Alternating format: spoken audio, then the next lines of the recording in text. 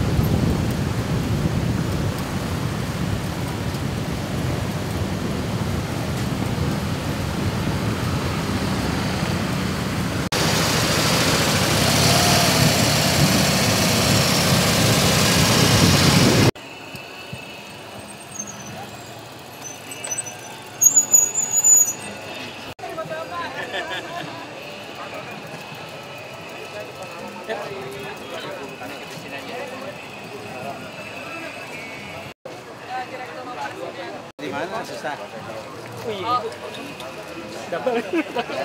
Kalau mau double juga bisa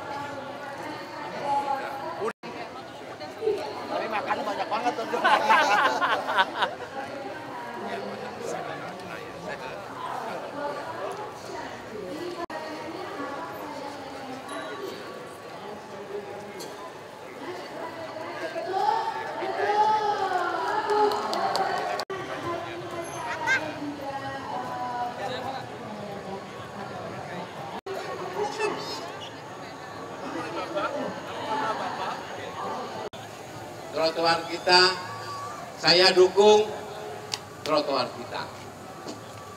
Saudara-saudaraku, pagi ini kita akan kick off pencanangan revitalisasi trotoar yang ada di Sudirman Tamrin. Karena trotoar itu pada dasarnya adalah hak kita semua, hak para pejalan kaki. Maka pada pagi ini kita canangkan trotoar di Jakarta dimulai dari patung pemuda sampai dengan patung kuda sejauh 6,6 km segera kita benahi dengan lebar antara 8 sampai 11 meter. Ada 10 langkah yang harus kita ketahui bersama. Yang pertama, trotoar kita harus rindang. Maka di sepanjang trotoar itu akan sekarang ini akan lebih banyak jumlah pohon yang nanti akan kita nikmati bersama.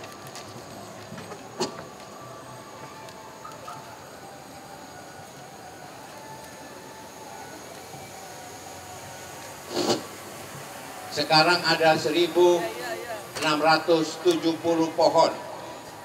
Setelah kita revitalisasi akan ada 1.950 pohon. Jadi tidak benar kalau penataan trotoar itu kita akan memotong pohon-pohon itu. Tidak. Pohon yang akan kita pindah adalah yang ada di garis pembatas jalur lambat dan jalur cepat itu akan kita pindahkan. Sedangkan yang di trotoar yang sudah ada tidak akan kita tebang atau kita pindahkan kecuali yang sakit dan akan kita tanam pohon baru yang jumlahnya 1950 ditambah dengan pohon yang ada jenis pohon nanti akan kita tanam adalah mahoni, terembesi, sawo kecil dan yang lain. Yang kedua, dengan ini kami sampaikan, kita berharap para pemilik gedung atau pengelola gedung yang ada di Sudirman Tamrin itu bisa menghilangkan garis pembatasnya. Pagar-pagarnya bisa dibuka. Dan kita berikan insentif apabila pagar-pagar itu dibuka, maka pajak PBB-nya kalau itu dinikmati oleh warga masyarakat, pajak PBB-nya kita bebaskan. Khusus khusus lahan yang dibuka untuk publik. Jadi yang kena PBB adalah gedungnya saja, sedangkan halamannya tidak. Itu apabila pagar-pagarnya dia buka. Sehingga trotoar kita akan semakin kelihatan besar. Dan taman-taman di depan gedung itu juga bisa dinikmati oleh warga Jakarta. Yang ketiga, untuk para pengelola gedung, kami sosialisasikan kalau bisa dibuka akses keluar masuk kendaraan itu dari samping atau dari belakang gedung. Sehingga pada jam-jam sibuk mobil yang keluar masuk gedung itu diarahkan untuk masuk dari samping dan belakang. Dengan cara seperti itu, maka pengguna trotoar akan semakin nyaman dan tidak terganggu dengan mobil yang keluar masuk gedung-gedung itu. Kita dorong betul warga masyarakat Jakarta untuk warga masyarakat yang aktif, bergerak, bergerak dan bergerak untuk semaksimal mungkin memanfaatkan trotoar yang sudah lebar itu sehingga warga Jakarta akan menjadi semakin sehat. Yang keempat, kita akan sediakan jalur sepeda sehingga transportasi massal kita langsung bisa terkait dengan penyewaan sepeda. Kita akan tempatkan sepeda yang bisa disewa untuk ber, dipakai dari satu gedung ke gedung yang lain. Sehingga jalur sepeda ini akan bisa dimanfaatkan oleh para pengguna transportasi publik baik yang menggunakan MRT maupun BRT. Karena di Jakarta juga masih banyak yang jahil. Tangan-tangan yang jahil, yang tidak bertanggung jawab. Maka supaya sepeda-sepeda itu tidak hilang, kita akan pasang CCTV yang bisa menyorot langsung ke wajah orang sehingga kalau sepeda itu hilang gampang untuk menangkapnya. Betul? Karena sepeda itu milik kita semua. Ya. Sehingga bisa disewa dan kita dorong mereka semua ada parkir sepeda. Yang kelima, tadi saya sampaikan, CCTV akan kita pasang di tempat-tempat strategis yang bisa memantau secara detail pergerakan orang dan pergerakan kendaraan di antara Sudirman dan Tamrin. Ini semua untuk menjamin bahwa apa pun yang dilakukan di Sudirman, di Sudirman Tamrin terpantau oleh pemerintah. Untuk mendukung itu, maka penerangan menjadi penting. Oleh sebab itu seluruh penerangan antara Sudirman Tamrin semuanya kita ganti lampunya dengan lampu LED. Serta papan-papan reklame billboard yang kuno-kuno itu akan kita lepas, kita tebang dan billboardnya itu nanti menempel di gedung-gedung sehingga jalan Sudirman Tamrin akan menjadi terang benderang.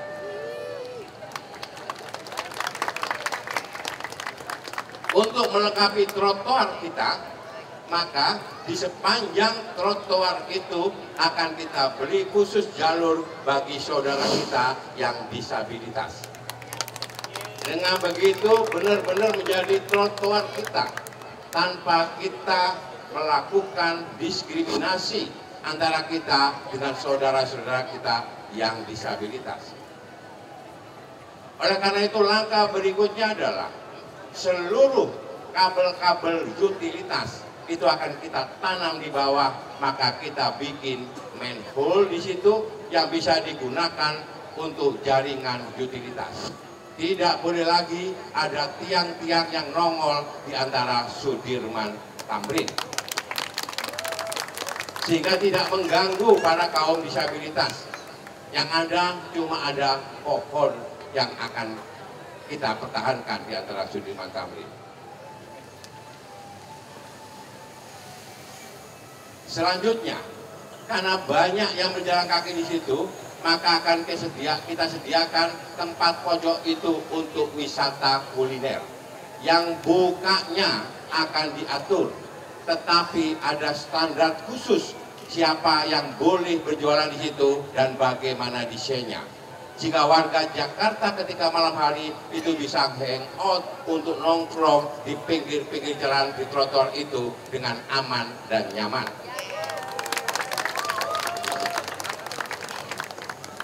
Bapak Ibu Saudara sekalian,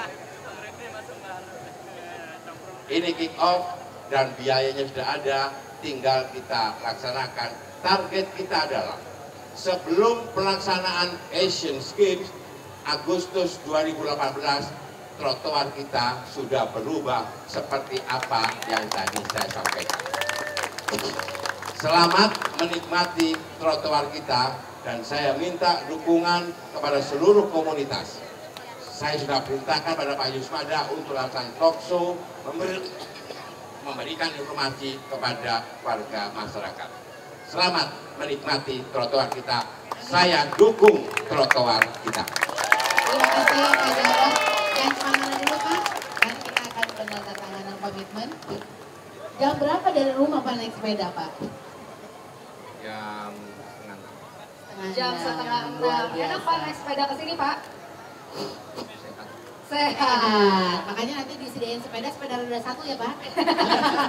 roda tiga. Biar Jakarta bisa pada main sirkus Betul, betul. semuanya. Dan saya juga sudah siap menyediakan halaman rumah saya untuk dibuka pembatasnya biar nggak bayar PBB. Bu, gedung. Oh gedung, maaf ya. Rumahnya gedung? Tapi rumah saya gedung loh, Oke. gede maksudnya ya. Ih Bapak, kami sangat excited sekali mendengarkan pemaparan Bapak. Eh, kami berharap akan terjadi di bulan Agustus 2018. Kita akan punya trotoar yang jauh lebih keren yang benar-benar didedikasikan untuk warga Jakarta. Ya? Betul. Nah biar Bapak lebih senang lagi, kami mengundang Ibu Happy untuk bisa menemani Bapak di sini. Karena Ibu Happy selalu membuat happy Pak Jarod. kita berikan tepuk tangan untuk Bu Happy. Bu Happy, mari. Bu, emang kita harus salto di sini. Karena Bu Happy juga dukung trotoar kita Iya. ada di sini. Silakan Bu Happy apa kabar? Bu Happy kacamatanya asik loh, gaul loh. Baik, ini adalah saatnya untuk menandatangani eh, pencanangan ya.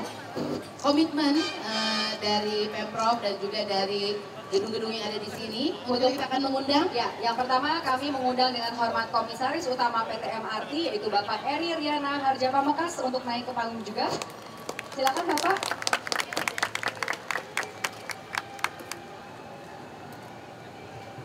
Kemudian berikutnya kami mengundang Direktur Utama PT MRT Jakarta, Bapak William Sabandar.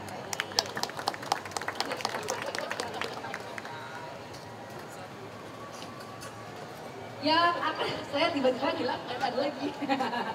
Yang akan juga disaksikan oleh para gedung-gedung Iya. yang sudah ingin bekerja sama tentunya ya yaitu yang pertama dari Wisma Nusantara. Perwakilan dari Wisma Nusantara Kemudian dari Plaza Mandiri. Selamat pagi Pak. kemudian dari Mandarin Oriental dan berikutnya dari China Sonangong Ya ini adalah gedung-gedung yang memang ingin sudah berniat untuk berkomitmen ya terhadap pembangunan pedestrian di Sudirman Tamrin ini. Kemudian juga akan disaksikan oleh Sekda, Kasubdit Gakom, dan Polda Metro. Uh, asik, panggung kita ramai hari ini ya, Bapak Ibu sekalian.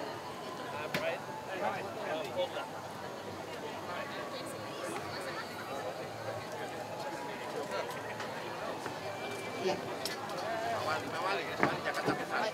Bapak Wali Kota Jakarta Pusat juga kami mengundang untuk bisa bersama-sama di sini. Bapak Langsung panggungnya penuh ya.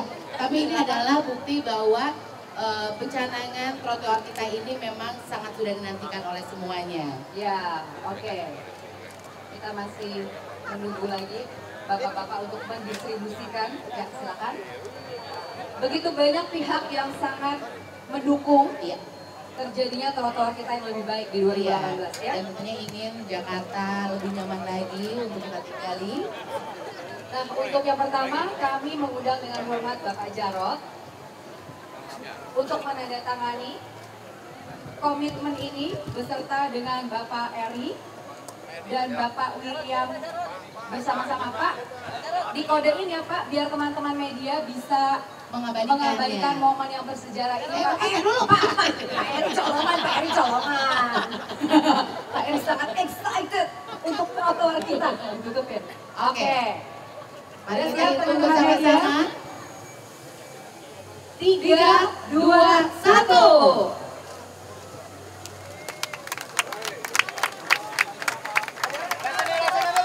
Lihat kamera bapak-bapak. Oke, senyum tiga jari. Pak, Pak Jarot. Banget Pak Eri namanya. Oh lengkap ya, karena saking bangganya. Yes. Eh, Pak Jarod dengan kata mutiara kayaknya. Boleh dong kita berikan tepuk tangan Bapak Ibu para Jakartans yang turut berbahagia dengan komitmen trotoar kita. Berarti kita tinggal tunggu nih karena katanya Desember 2017 itu akan segera dilaksanakan pembangunannya. Asik, oke. Iya. Mau foto bersama? Boleh di foto bersama dulu? Kita melipir.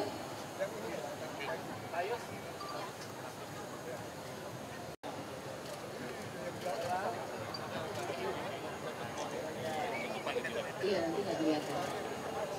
Ya, teman-teman wartawan. Ya, satu sebagai bentuk komitmen kita ya, Pak Jarot ya. Mari kita mulai. Pak Jarot di Oh di pinggir sana. Sama Pak Eri mungkin masing-masing di Pak Eri, samping. Pak Eri juga, Pak Eri. Komitmen. Ya sama Bu Happy. Ya, Ayo Pak William dilanjutkan tangan tanda tangannya Pak William. Nah, disaksikan oleh Pak Jarot dan Pak Eri. Satu demi satu tanda tangan absen sebagai dukungannya terhadap trotoar kita. kemudian dari Polda Metro. Biar trotoar kita aman dijaga oleh kepolisian. Oh nanti kan ada CCTV. ya. Yang mana nanti yang balik sepeda akan terciduk. Karena mukanya ada ada di sana nanti. Iya Bapak Sekda Silakan. untuk menandatangani komitmen. Makin ke bawah, makin butuh glukosamin. Karena harus berlutut. Yang ketawa cuma Pak Eri. Pak Eri tahu banget glukosamin. Pak Wali Mangala, silakan. silakan. silakan. Oke, Ya. Perwakilan-perwakilan dari gedung-gedung yang sudah Dari Wisma Nusantara boleh silakan. berkomitmen. Silakan. Dari Satu Plaza demi satu Mandiri, dari dari Mandiri Oriental, dari China Sona Mall. Bu Happy sudah tahu tangan belum? Bu habis tangan ini, dong Bu,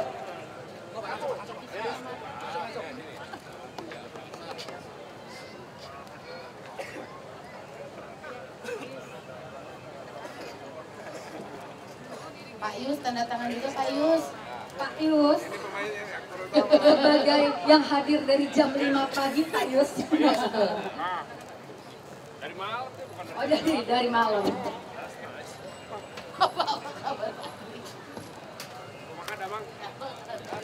Silakan Pak Yus tanda tangan.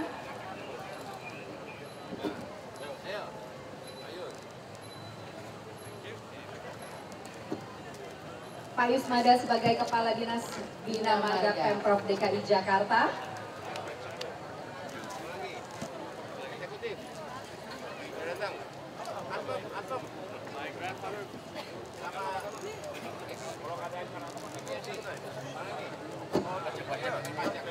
Tadinya kita pengennya semua yang ada di sini bisa ikut tanda tangan untuk berkomitmen. Tapi kayaknya papannya nggak cukup. Kita komitmen dalam hati aja Ya, kita ya, akan ya, ya. mendukung trotoar kita. Betul. Jadi seperti tadi Pak Jarod bilang bahwa setelah orang yang cinta pohon tidak perlu khawatir. Betul, jadi selama ini yang beredar bahwa akan ada penebangan pohon itu salah. Yang ada akan dipindahkan dan yang ada di sisi trotoar ini akan tetap dipertahankan, bahkan malah ditambah. Betul. Untuk itu kita mengundang wakil dari komunitas pecinta pohon ya. Ada yang hadir bersama kita? Perwakilannya ITDP ya Pak Yus ya? ITDP ada di belakang? Perwakilan dari ITDP? Yang kalau bahasa Inggrisnya tree hugger. Iya, iya, iya, pohon. Ini ada lagi yang butuh? Ini juga dari jajaran direksi dan komisaris juga sudah mendatangi komitmen. Sekali lagi dari komunitas pencinta pohon, kalau memang ada boleh eh, bisa ikut menandatangani komitmen ini. Perwakilan dari komunitas sepeda. Komunitas sepeda, ya. Konsep silakan Pak. Terlihat dari topinya. Oh sudah, tuh nggak perlu disuruh udah dengan sendirinya Mel. Ada lagi yang belum absen Bapak Ibu sekalian? Ini yang di panggung sudah tanda tangan semuanya. Udah ya? Sudah kayaknya. foto lagi bersama di tengah. Silakan. Kita abadikan. Sekarang semuanya lihat ke tengah dulu. Lihat ke tengah bapak-bapak. Sekarang semua lihat ke kanan. Jempol. Satu jempol, satu pohon. Nah, tuh. Sekarang semua lihat ke kiri. Kiri. Semoga semua yang dipaparkan oleh Pak Jarod betul akan tercapai di 2018. Amin. Amin. Looking forward to it, Pak Jarod. Jadi siap banget pas lagi menuju Asian Games ya. Ya. Nah berikutnya ini adalah Pak Jarod akan menyerahkan secara simbolik bibit pohon yang ini adalah simbol dari akan ditambahnya menjadi 1.900 pohon yang ada di sekitaran Sudirman Oke. Tamrin ini. Saya ambil dulu bibit pohonnya. Udah Melisa? Udah. Iya kita akan serahkan kepada para pemilik gedung perwakilan dari Plaza Mandiri.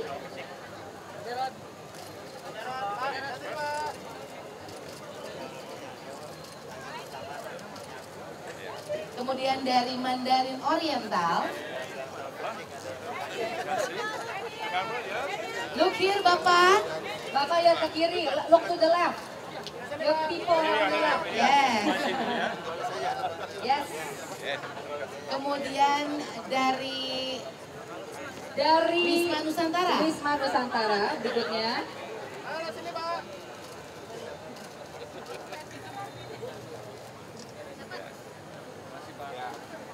Dan dari China Sonangol. Iya. Dari China sana. Oh. Plaza Mandiri tadi belum ya? Oh dari Indonesia. Bapak udah datang tiba-tiba ya. Dari tadi dari Indonesia sudah, dari Plaza Mandiri yang belum. Dari Menara Mandiri. Menara Mandiri. Oke. Iya, Baiklah. betul. Dari SCBD, perwakilan dari SCBD. Dari Dari SCBD. SCBD baru Grand Indonesia. Grand Indonesia.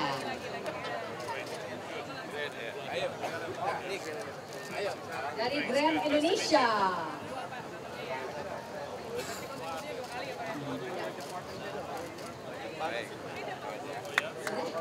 Sudah?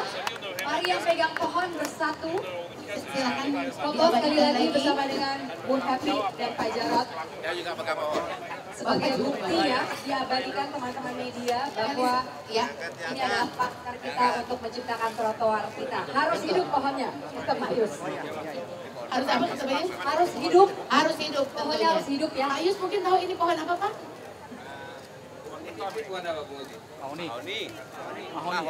Mahoni. Mahoni. Mahoni. Oke, saya pengetahuan pohonnya nol. Ya betul. Saya cuma pohon Saya cuma cabai tahu dan pohon jengkol.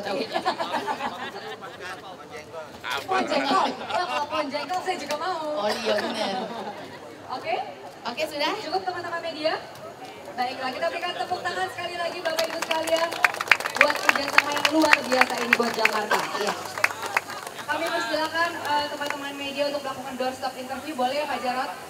Bapak, adik, adik. Alam semesta juga mendukung terjadinya trotoar kita. Aku dan ini kan seperti janjinya. Eh, bulan Agustus 2018 itu sudah selesai. Itu seiring dengan selesainya eh, program eh, MRT antara Sudirman Tamrin. Saat rapat terbatas dengan Presiden kami sampaikan bahwa sebelum pelaksanaan Asian Games semua jalan-jalan Sudirman Tamrin sudah bersih, sudah tertata termasuk trotoarnya. Dari ini kita canangkan revitalisasi total trotoarnya sepanjang 6,6 km dari patung pemuda ke patung kuda. Ya. Ada tadi saya sampaikan beberapa prinsip atau langkah. Ya. Yang pertama, trotoar itu akan kita tanam pohon sehingga menjadi sejuk dan nyaman untuk berjalan kaki.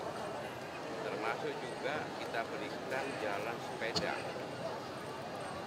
karena cukup lebar antara 8 sampai 11 meter satu jalur sepeda.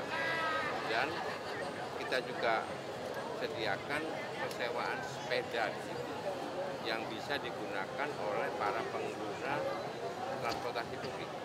Sehingga kalau ke kantor tidak perlu pakai mobil, dia naik kendaraan umum, pakai bis bisa, pakai MRT bisa, keluar stasiun dia bisa naik sepeda ke kantornya. Oleh sebab itu, kalau ada seperti itu maka saya sampaikan CCTV-nya harus cukup banyak untuk bisa mendeteksi. Karena sikap mental warga kita masih ada yang masih belum sadar sesuai. Yang kita khawatirkan kalau kita lepas begitu saja sepedanya kembali hilang atau dipredeli. Makanya saya sampaikan bahwa harus ada CCTV yang bisa men-shoot langsung, meng-capture betul wajah mereka dan harus dihukum berat. Karena kita harus kasih disiplin kepada warga.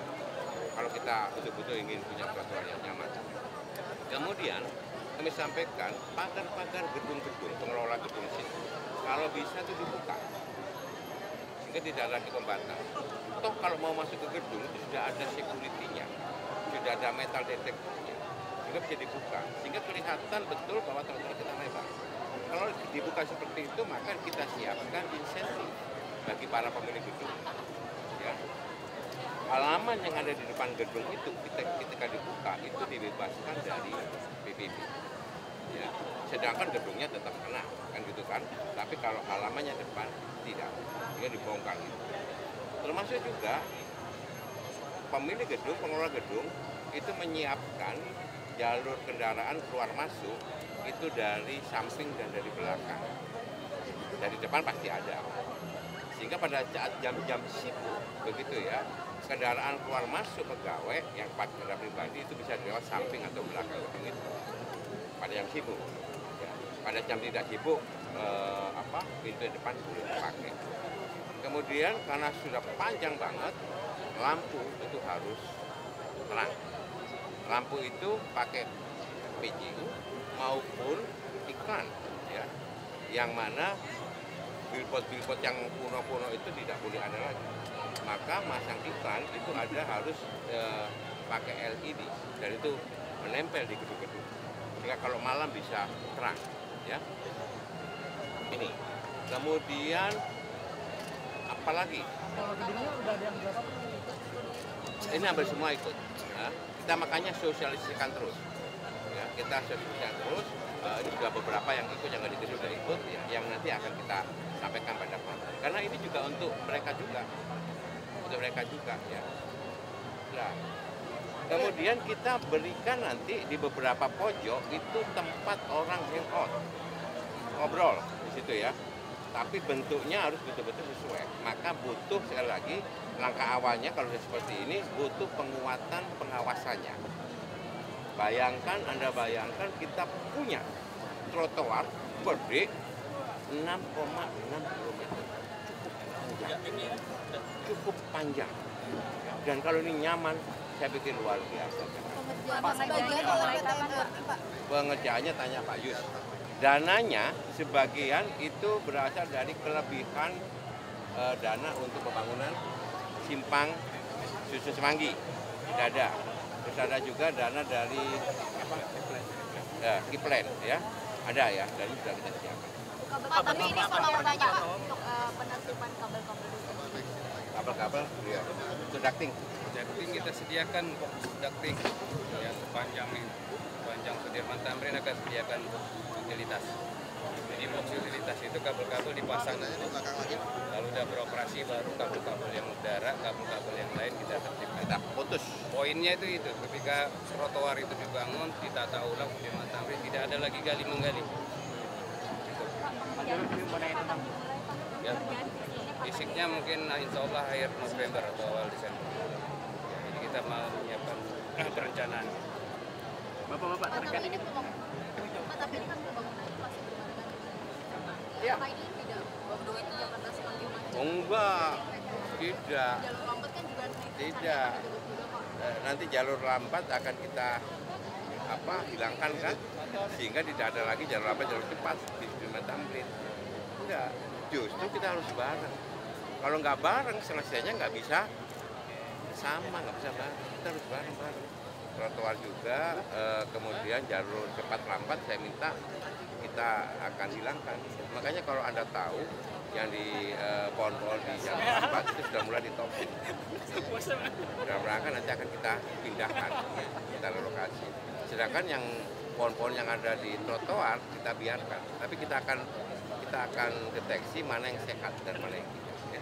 Wajar, Pak, yang Pak, Pak, terkait apa normalisasi, Pak? Yang pagar, pagar. Enggak, ini sosialisasi dulu. Himbauan sosialisasi dulu. Makanya harus ada insentif dan disinsentif. Kalau mereka nggak mau, berarti kan kita kasih. Misalnya, misalnya ya, PBB-nya kita naikin. Itu kok Bapak, repot. terkait normalisasi kan belum rampung Pak ini di masa akhir dan belum masuk musim hujan seperti apa? Normalisasi kali Ciliwung. Kalau itu mah belum rampung, bos. Lima tahun, saya pikir tidak akan rampung. Itu paling tidak membutuhkan waktu 10 tahun. Dan harus konsisten. Memang belum rampung. Karena masih banyak yang mau mengokupasi apa bantaran-bantaran sungai. Ya, cukup ya. Terima kasih Pak. Pak.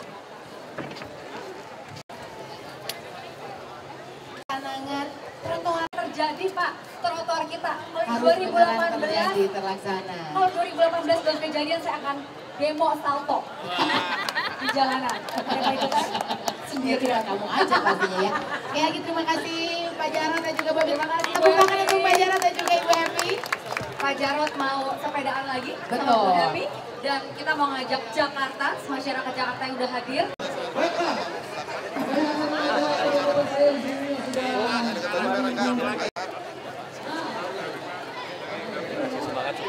Ke depannya tetap dijaga.